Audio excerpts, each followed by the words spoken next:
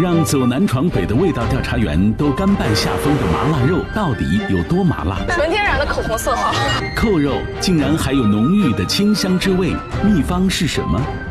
拔不动。小龙虾和田螺制作的美食为什么能做到停不下来？是甜味的。跟味道调查员走进南县，感受麻辣鲜香滋味。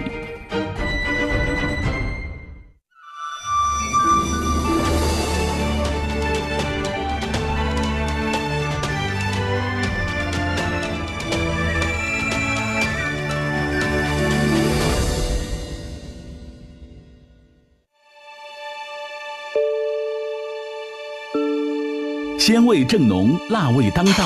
湖南省益阳市南县人用收获的鲜味制作当季美味。杨逢春师傅一家五代制作网红美食麻辣肉，二十多种调料，八道工序，将食材的味道发挥到极致的麻辣肉到底是什么滋味？王立群大姐要用当季的水中制鲜，为即将外出求学的女儿制作一桌组合鲜美味。这桌组合鲜到底有多鲜？我想晚点下荷塘。宋兴大哥要用水中制鲜小龙虾和田螺，制作一道作到停不下来的美味。据说这道美食吃完会嘴麻灵魂抖，它到底是怎么制作的？导演呢？导演，来来，慢点啊！跟味道调查员走进南县，感受当地独有的麻辣鲜香滋味。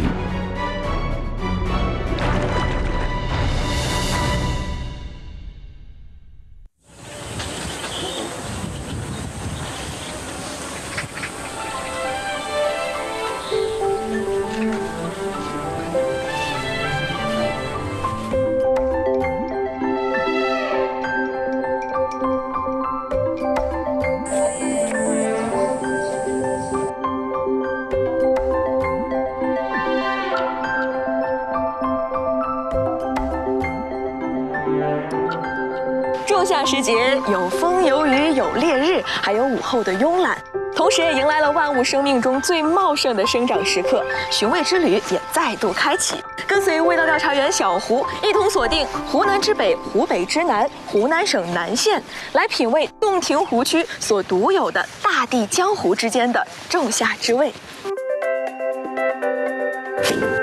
洞庭湖畔鲜味正浓，辣味当道。味道调查员走进湖南省益阳市南县，在这里寻找南县传统的鲜辣滋味。南县的平均海拔是二十八点八米，夏季的雨水集中且丰沛，潮湿的气候应运出了火爆的滋味儿。它们粉墨登场，同时又是南县人的最爱。其中啊，有一道麻辣美食，从它诞生的那一刻起，就注定拥有了不可撼动的江湖地位。具有不可撼动江湖地位的麻辣美食，就是麻辣肉。这种薄如蝉翼、油亮金红的美食，是当地人不能割舍的滋味。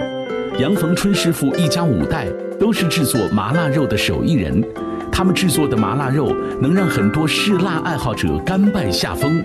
它到底是怎么制作的？杨师傅说，麻辣肉从选材上就有讲究。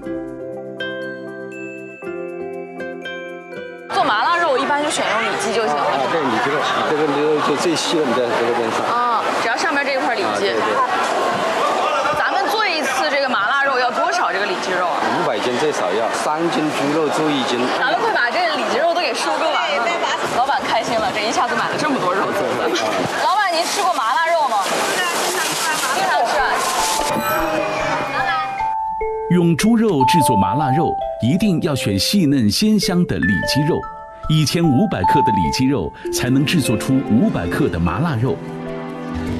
杨师傅说，这套标准是祖辈传下来的，他不敢有一丝大意。里脊肉把它分割下来，就只要脊骨上边这一块里脊就行。纯瘦肉，带油脂的东西，放久了就会变味儿啊，变味的。二点五毫米啊，这么精确，有点厚了吧？我这个，你看杨大哥这个还是比较薄到透光的，对对。这形状还是可以的。形状可以的。二点五毫米是最标准的。杨大哥，这都能做成麻辣的吗？啊，对啊，这都可以。杨师傅说，南县的麻辣肉是一个大家族，家族成员有猪肉、鱼肉、鸡肉，只要是肉都可以入选。肉要选纯瘦肉，厚度二点五毫米。这个厚度的肉片不会太厚，容易入味儿；不会太薄，有咬头。杨师傅说：“接下来是制作麻辣肉最重要的环节——调制秘方。味道调查员要打起精神，看看这独门秘方有多不同。”个无情的下料机器，就这样倒上。嗯。啊，好硬啊，这个。哇，碎了一点。哦，敲开之后，它这个香味特别冲，感觉才开了一个头。哎呀，我没有想到有这么复杂，我以为一麻一辣就够了。看似简单，但是背后暗藏玄机。二十九种香辛料磨成粉，再和里脊肉充分融合，使每片里脊肉都均匀地裹上一层香辛粉。要一片片的展开吗？啊，直接就烤不干了。所以咱们这个铺好之后是要给它直接烘成肉干吗？啊，对。边边角角，放心，我肯定会给它摆漂亮。木炭烤出来香些，三斤这个里脊肉就反正是能够做一斤成品了。把每一块肉给它整成平整的拼图。万万没想到，裹上香辛粉的肉片要一片片的舒展开，摆到特制的网子上进行烤制。里脊肉要烤四个小时，而鱼要烤二十多个小时，小火慢烤，在火力的作用下，肉片开始收缩。烤干了的，这真的很像那种猪肉脯哎。那咱们现在这个这个肉干能吃了吗？不能够吃。但是薄薄透透的，看起来感觉直接能吃的那种零嘴了。对，这个蒸饭一样的把它蒸熟。这要蒸多久的？两个小时。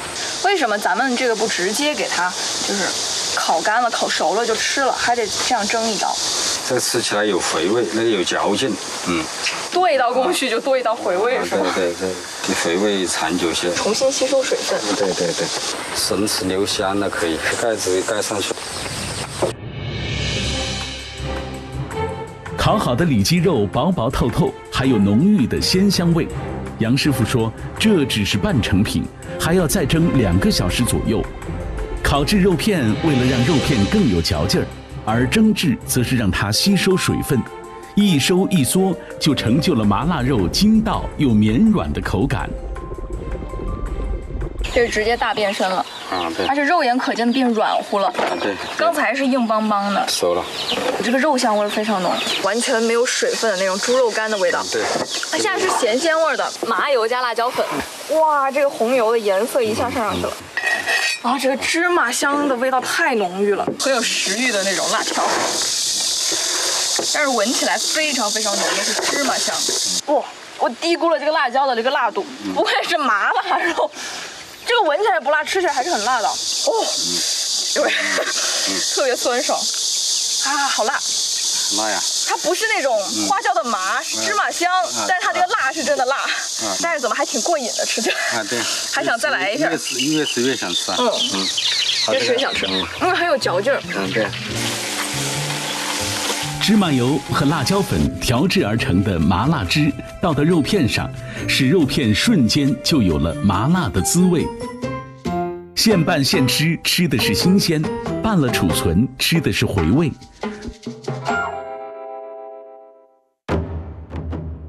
在南县，一切皆可麻辣。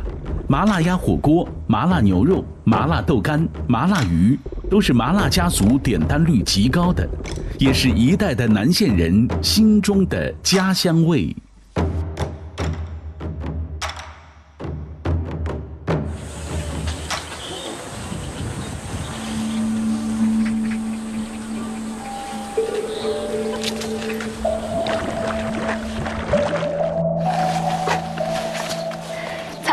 南塘秋，莲花过人头。江河环绕，湖港纵横的南县可以说是名副其实的水乡泽地。而在这里，几乎每家的门前屋后都有一口这样的荷塘。在南县人的夏日餐桌上，必然少不了来自荷塘的滋味儿。这就像烈日当头的一阵风，及时又清爽。南县的水中孕育了很多的美味，它们或清脆或软嫩，它们都有一个共同的特点，就是鲜，极致之鲜。对于爱鲜的味道调查员来说，去寻找水中至鲜，本该欢呼雀跃，却没想到他竟然十分担忧，这究竟是为什么呢？我想晚点下荷塘。我有一段非常惨痛的经历，大家可以点击回放。我像一个那种人形气球，就下半身是定住的啊！放吗？哦，对，鞋陷下去了，主要是我现在现在不有了。曾经深陷泥塘无法自拔的经历，成为了味道调查员心中的阴影。不过这一次，跟味道调查员一起下荷塘的是王立群王大姐。看大姐爽朗的笑声，味道调查员安心不少。慢点，慢点，我还有点害怕嘞，我从来没想过。你怕，你怕我更怕了。哎呦，好凉快啊！哎呀，好舒服，我现在双腿泡在里边。慢点，慢点，慢点，那就不能去了。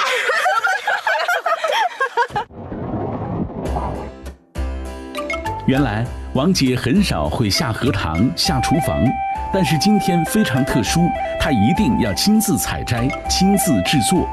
至于为什么，她要一会儿再告诉味道调查员。他们在荷塘中寻找的第一种水中至鲜，到底是什么呢？嗯，吃到这个莲心了，甜不甜？莲心好吃啊，吃了好的。嗯，莲心就比较清苦。对，这里一个好大的。哎，我怎么都没看着？哎，我看见了，可以了。这个真挺大的。嗯，你不能离我太远了，王姐，我无法保证自己的安全。谁能保护我？我还从来没有摘过，这是第一次。从来没有摘过。我在家只负责吃，那都是我老公摘回来给我吃。那你好幸福哦。对呀。莲蓬，那是南县人爱了又爱的食材。莲房可以煮茶，莲子可以直接吃，莲心可以去火。无论是生吃还是做熟，都是极鲜的代表。有了莲蓬，王姐要带味道调查员去寻找另一种水中至鲜，那又会是一种什么样的鲜味呢？这么大一株啊！我以为是小野草呢。哎，你看，这样把它剥出来了就可以了。呃，可以。这一节就可以了。啊，对对对对，啊，就这样子，哎，两边要把它掰开一点，再掰开一点，不，那那这个不能掰了，不能掰了，拔不动，它很滑，很滑吗？哎，出来了出来了，啊，这得使巧劲儿。这个是盐波草里面长出来的，啊，这个东西是不是那个一捏就会炸开的那个？哎，我不会。王大姐说的盐包草是一种野生蔬菜。它假茎白嫩部分就是蒲菜，味道清爽可口，汁水充盈，是南县人舌尖上的珍馐。采摘了蒲菜，王姐还是没有回去的意思。她说：“还有样水中至鲜，一定不能错过，那会是什么呢？”我们都还没走过来，大哥已经开始下手了。荷叶杆的中间长着的这个是，看，相当长哦，这个 好漂亮啊。哇，又好长，这个好漂亮，嗯，洗一下，洗了之后就白白净净，出淤泥而不染的感觉，非常白净，全部都是好东西。这风一吹，所有荷叶都往一边倒。对，又拔了几根呢？来。王姐都笑开花了，好可爱啊！上午采，中午就拿走了，晚上就被吃了。等一下，这做出来吃的很好吃的，绝对够吃了。这个就是又嫩又甜的，现在吃现挖现吃的话是最好吃的，新鲜。一二三。藕尖也叫藕梢子，是连接藕节和嫩荷叶的茎，水分充足，有着松脆的口感。而且回味甘甜，莲子、蒲菜、藕尖这三种生吃都回甘的食物，在南县人手上又会如何精致打磨成一道道餐桌上的至鲜呢？咱们这荷塘姐妹花算是上岸了，这是干莲子，干了之后就小了很多。啊。对，咱们采的藕尖啊，然后莲蓬，肚子里面把它内脏都全部把它给去掉了。里面搞得干净了。这感觉像这只鸡吃了一肚子的这个小莲子米，偷吃了莲蓬了，这是。然后放这么多党参，就这样包在肚子里，对，就这样把它包在肚子里，再放点那个薏米，薏米。锁住，给它，嗯。这个只要放盐就可以了，完全原汁原味了。王姐说：“莲子去火，党参补气，薏米除湿，再和温补的鸡汤搭配，不得不说，爽朗的王大姐搭配美食还是很有一套的。味道如何呢？静等一个小时。这是盐盐包草，烧一点开水把它焯一下。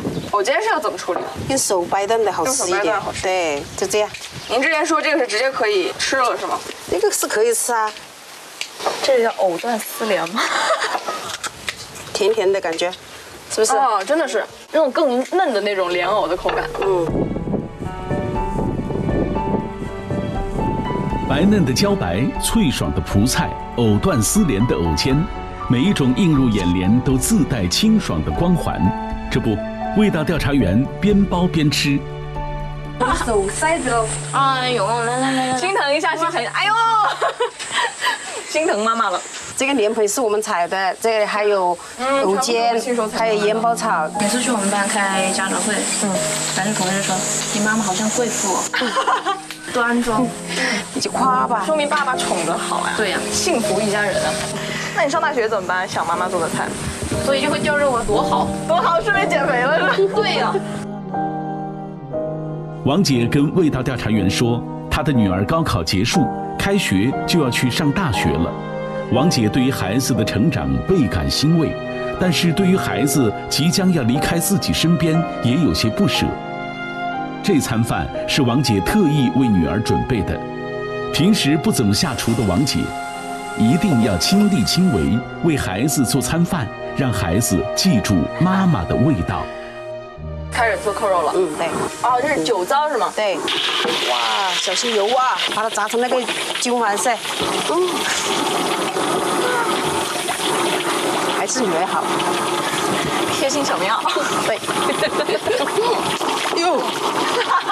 自己的动静比锅里动静还大，我就我就害怕这个，慢一点搞。有了酒糟的加持，五花肉迅速上色，经过油炸的五花肉换上了漂亮的虎皮装，肉香更加浓郁。这个油炸五花肉和水中制鲜，能搭配制作什么样的美味呢？这样子卷起来啊，你你放到这个里面，把它卷一下，哦，卷一下。这样不是很漂亮的吗？王姐说，女儿很爱吃肉，所以她就创造出了这道莲子扣肉。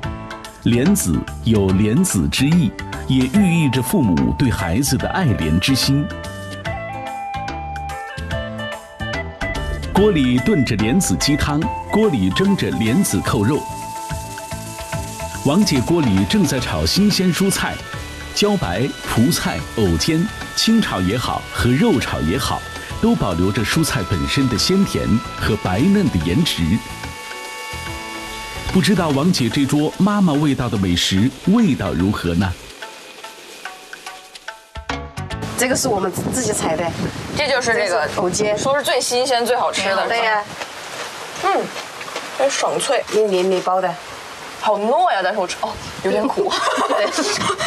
谁敢第一口尝试一下这个扣肉？我有点害怕。你来呗。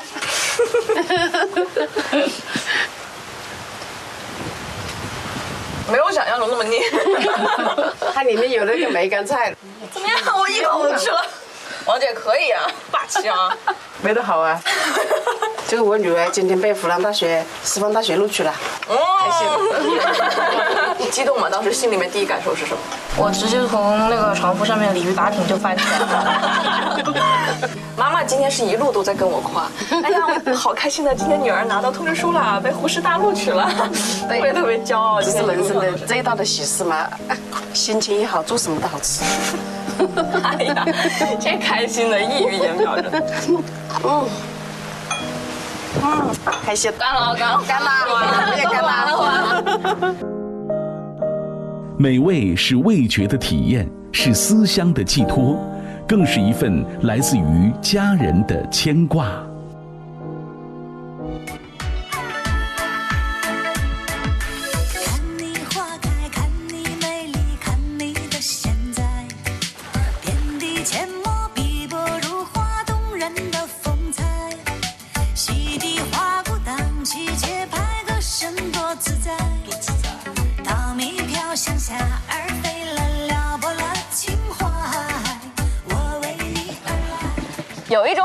啊，它漂洋过海而来，又沿江而上，成功的征服了大江南北，成为了当今当之无愧的网红美食。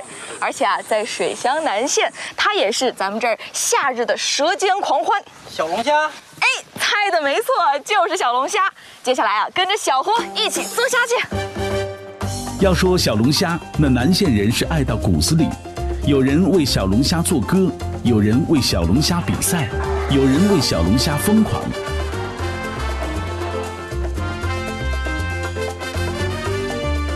宋兴大哥就是这么一位热爱小龙虾的人，他致力于将家乡物产跟小龙虾结合，制作鲜美的滋味。味道调查员跟宋大哥先到水塘中寻找小龙虾的搭档，这个搭档到底是什么呢？慢一点啊，这个球。我会不会还没到田里就已经下水了？哦，咱们这个螺好大颗啊！呃，你看这跟牛也是这么大，这么滑的吗？我螺一定享受了，回有童年那种感觉嘛。这里面有螺有几种，不熟螺的就不能吃。不熟螺的屁股短一点，但田螺的屁股就长一点。这个大家记住要辨别一下。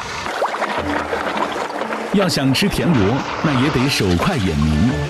手快是迅速捞起，眼明是要挑到对的。都躲在里边里面的，你手这样哦，捞捞出来就行。这个对比就很明显了对。福寿螺的一般这屁股要稍微短一点，对对，它就平的，差不多平的。头大屁股短啊，对对对胖乎乎的，哎，这边这边有，呀这边有很多。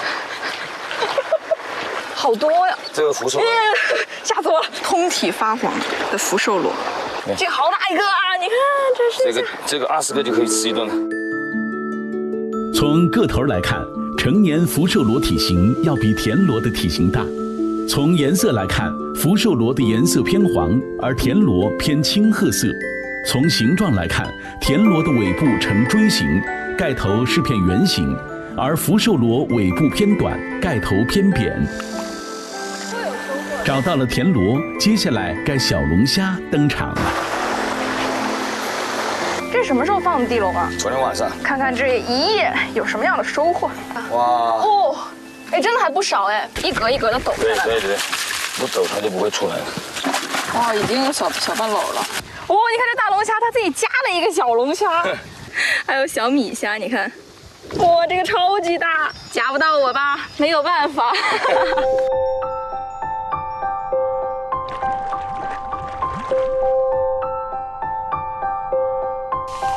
田螺和小龙虾都是南县街头必不可少的鲜味担当，这两种鲜碰撞在一起，会有什么惊喜呢？回家开始制作。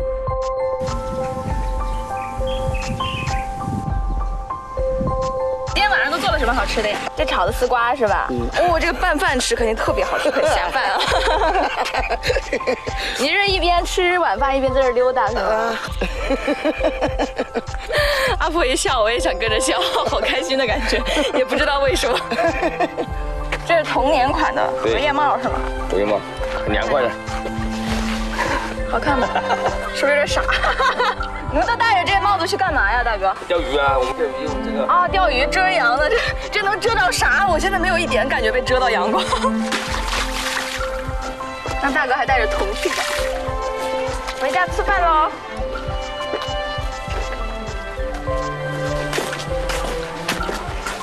田螺下锅，把它煮熟，然后剥肉出来，把它掏出来。这从哪开始炖？这个地方，你看，这上边都不要了是吧？对，一定要把这个肠子搞干净，还有那个小螺仔在这个里面。啊，就吃起来硌牙是吗？哦，我摸到了小螺仔，哎，它现在是正好是产螺仔的时候嘛对，好多啊，肚子里面全部是这个仔。好烫。田螺要把肉挑出来，这一步难不住味道调查员。小龙虾要把头和虾线去掉，这一步对于味道调查员来说有困难。活着直接捡啊！啊！哇这里面有那个虾头、虾脑、虾。哎呀呀呀呀！你看你看，他现在非常识相的，他的钳子夹我。然后拔虾线，从尾巴中间这样一最中间的，啊，一抽啊，他们的钳子实在是看着让我有点害怕。别夹我啊！你看它这个钳子，感觉它钳子跟我这剪刀差不多大了。你看，一定要把它剪到位，剪到个上面，哦容易入味。我都觉得我能开个虾铺了，我居然会处理虾这一套给学会了。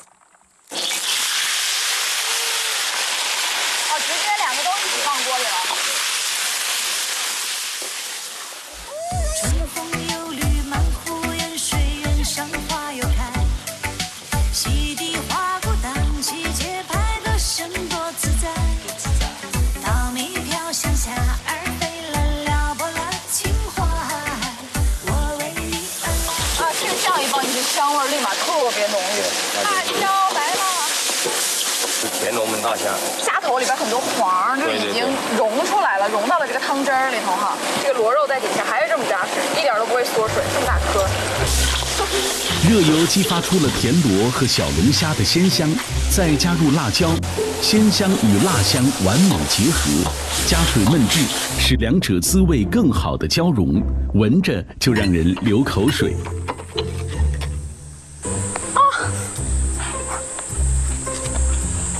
嚼劲儿，特别特别弹牙，又很筋道。嗯。哇，汤汁儿和这个黄是融在一起的。看我动一下，它就下边在上面弹。哦，是甜味儿的，而且是爽脆的。对对对，欢迎大家到你南县来吃小龙虾，味道美极的啊，好吃的很。好吃的很。来来来来来来，好事好事，还想做，还想吃。还想小龙虾，真好吃。小龙虾嘬一口，满嘴留香；田螺嚼一下，弹牙筋道。这道双鲜组合又鲜又辣。在南县，浓郁的虾蟹汤汁混合着南瓜泥，再加入弹牙的小龙虾肉，直接浇汁儿到南县特有的稻虾米上，颜色明亮，味觉鲜中带甜，同样是当地人十分喜爱的味道。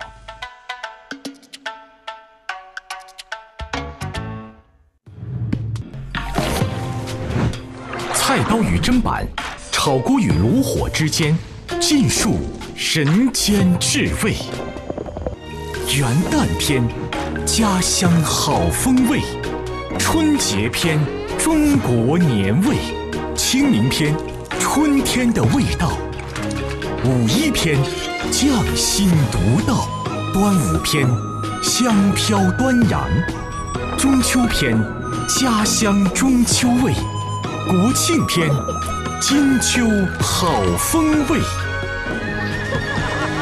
四十二集大型美食文化纪录片，二零二二有味道，精彩呈现。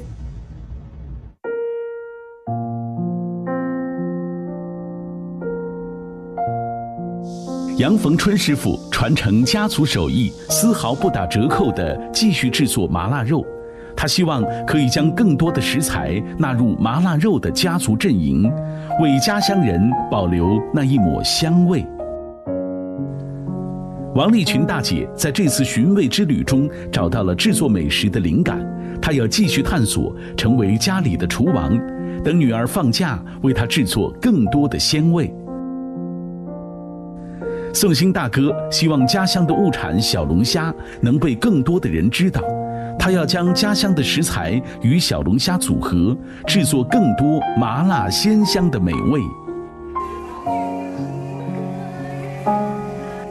鲜味、辣味，与其说是舌尖的味道，不如说是映入骨子中的家乡味。那抹乡情，历久弥新。